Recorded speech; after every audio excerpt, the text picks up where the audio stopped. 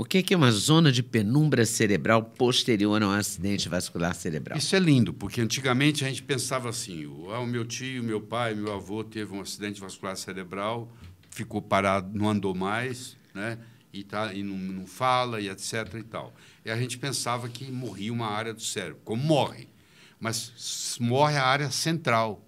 Em volta daquela área central, hoje sabe-se que existe a chamada área de penumbra.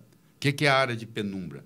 Onde a célula não é funcional mais, mas também ela não morreu. Tem recuperação? Tem, tem recuperação. Opa. Às vezes, com um ano depois, você começa a fazer uma fisioterapia apropriada e a pessoa sofre alguma melhora, que não esperava. Porque aquela, aquela área ela ficou em hibernação. Isso chama área de penumbra. É bacana porque não é uma condenação, né? É, exatamente. Porque o AVC antigamente era uma condenação. Então, hoje nós podemos, mesmo com a pessoa ter um AVC um ano, dois anos atrás, dependendo do caso, pode até melhorar ainda. Ainda existe ainda uma esperança. Então, isso trouxe uma esperança para a medicina. O- A área de penumbra. Que bom. O, a gente falou do ovo, falou do leite materno, do colostro. Quais são os cinco alimentos que você considera que pode aumentar o desempenho cerebral? Ó, Quer dizer, a gente o pode o leite comer e materno, bem. O leite materno é um. Mas esse é só no mercado negro? É, assim, mas é importante você entender as propriedades. Né? Hum. Nada que substitui o leite materno de uma mãe saudável. Claro, se uma mãe estiver fazendo uso de crack, o leite tem crack. Porque Hum. o leite é um produto discretório, uma excreção. Tá? Mas o, o- é importante você falar da, dos ovos, é importante você falar da, da do, por exemplo, da curcumina, cúrcuma, é importante você falar do mirtilo, O mirtilo. é, né? o mirtilo é um alimento cerebral. O mirtilo tem um, um- conjunto de flavonoides chamado antocianinas. Não sei se você já ouviu falar essa palavra. Antocianinas, que são potentes antioxidantes. O mirtilo é um, é um, é um alimento cerebral. Dizer, quando você está ingerindo mirtilo, você está estimulando o seu sistema nervoso central. tá? Faz muito bem para o cérebro. Muito bem para o cérebro. E o óleo de coco é muito interessante também. A Isso. curcumina, você acha que deve ser é, acrescentar um Sim, refogado? Não, deixa eu te é, falar. tomar em pílula? O Eu, quê? eu- eu gosto de tomar em cápsulas junto com piperina, porque existe uma, uma, uma substância que vem da pimenta, que chama piperina, que aumenta em 20 vezes a absorção da curcumina. Quer dizer, eu posso usar a curcumina com duas, duas finalidades: para absorver, para atuar em algum lugar no corpo, ou quando eu quero atuar só no intestino, que ela também faz muito bem, obrigado. Então, quando ela faz, ela vai ser atuada no intestino, eu deixo de co- colocar a piperina, porque a piperina aumenta em 20 vezes a absorção dela, para ela ir para outras áreas do corpo. Mas a presença dela no intestino também é muito importante. Então, você estava falando que você gostaria de conversar um pouquinho sobre o intestino. Eu Gostaria. O intestino é nosso segundo cérebro mesmo, é verdade? deixa- é claro que é. é. E é cada vez mais importante. Tão importante que a Organização Mundial de Saúde considerou que hoje no- o ser humano tem um órgão a mais, que é o microbioma intestinal, que é um órgão vitu- virtual, mas é um órgão. Então você pode, muita coisa que você não poderia fazer antes, hoje você pode melhorar a sua vida, melhorar a sua saúde via microbiota intestinal. Então você faz um, o médico faz para você uma receita de uma forma como rica em pré e probióticos. Hoje, inclusive, estão colocando até os pós-bióticos, porque hoje sabe, nós, vemos o que, que aquela que a microbiota produz e já estão vendendo aquilo que a microbiota produz, que é chamado pós-biótico. Então, hoje você tem o pré-biótico, o probiótico, O probiótico. o simbiótico e o pós-biótico. Caramba. E como é que a gente descobre isso? Bom, É, é, tem um exame, tem. Tem, tem um exame que você faz, tem um exame que você faz de fezes, que determina, mede, mede, faz tudo certinho, vê o que, que você tem de bom, o que, que você tem de ruim, qual é a, o, o- micróbio que está lá que não deveria de estar, vamos supor, às vezes você tem demais Escherichia até um certo ponto... É Mas não é um exame de fezes comum, né? Não, Deve não ser é, aquele não, de cultura, né? Não, não é exame de fezes comum, não. não. É um exame de fezes que estuda o, o genoma da microbiota. É feito um, um exame de fezes para estudar o genoma da microbiota. Muito interessante. E, deve, e é muito importante, né? Muito importante. Muito, cada o vez intestino, mais. é, com o conhecimento, Não, e com hoje tem muito tal, problema o intestino intestinal, ganhou né? uma, uma proporção... Sim, e, e- Enorme, né, muito na questão problema. saúde, Tem né? muita gente que não consegue sair de casa mais, porque tem que ir no banheiro cada 10, 15 minutos, com a síndrome do intestino irritável, a doença de Crohn. Tem muito, tem muito problema intestinal, muito. E hoje tem uma saída.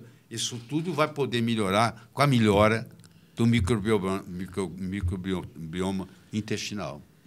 Entendeu? Então, fazendo o genoma da microbiota, você consegue Sim. chegar nisso. E consegue chegar, sabe o que está sobrando, o que está faltando.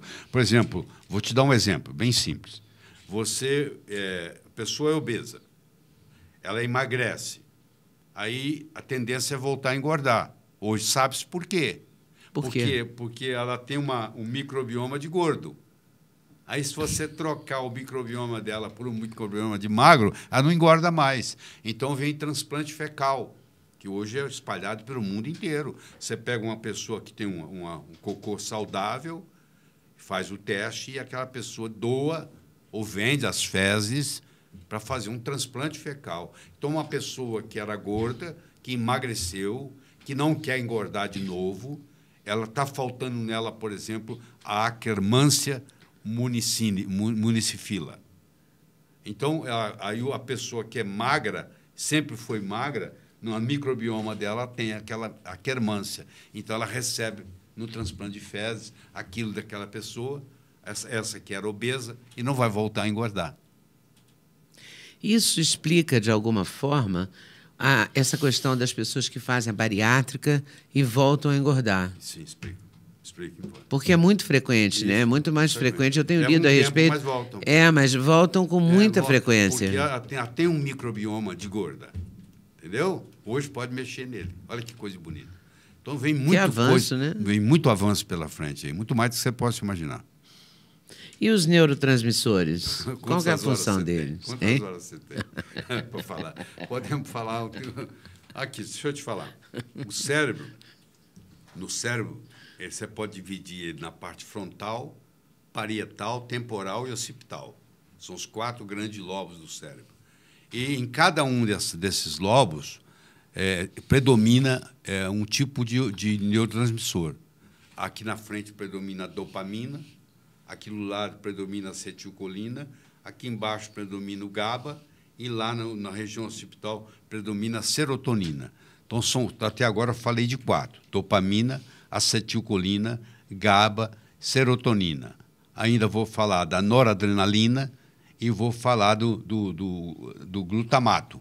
O glutamato é o mais abundante dos neurotransmissores. Tem mais de 100 neurotransmissores, para você ter uma ideia como é que isso é complexo. Nossa? Mas o, o mais abundante deles todos é o glutamato. É um, ele, ele estimula o cérebro, às vezes até demais. Às vezes o glutamato até prejudica. Quando tem o glutamato monossódico, Pois é, exemplo. Então, que a gente não deve comer nada que tenha glutamato Exatamente, monossódico. porque Por quê?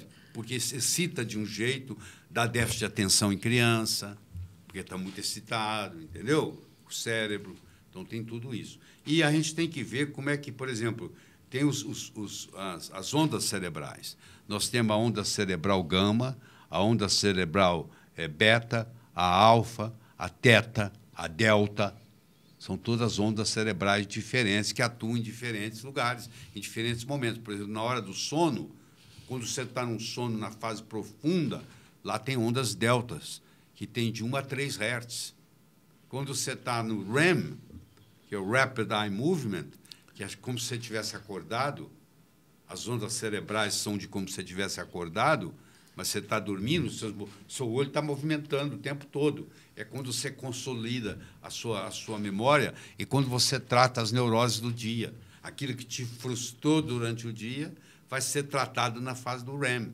Então, a, a doutora Shapiro, eh, Frances Shapiro, uma, uma psicóloga americana, descobriu uma técnica chamada EMDR. Já ouviu falar? Onde você, através do movimento dos olhos, você resolve problemas que você está tendo há 20 anos na vida.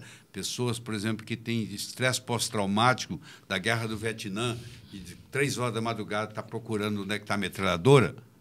Aquelas pessoas passaram por toda a psicoterapia, não resolveram.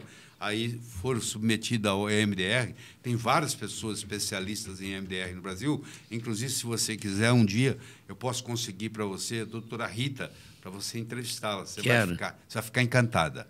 Encantada. Esse seu telespectador vai ficar encantado. Ótimo. Tá bom? Vou arrumar para você. Muito bom. Oi, gostou do pequeno trecho que você assistiu da entrevista do Dr. Laí Ribeiro? Pois sabe que tem muito mais na entrevista inteira, na íntegra. E está aqui no canal Leda Nagli do YouTube, à sua disposição, te esperando para melhorar a sua qualidade de vida, o seu nível de informação e a sua saúde. A gente espera vocês na entrevista completa do Dr. Laí Ribeiro. Até lá.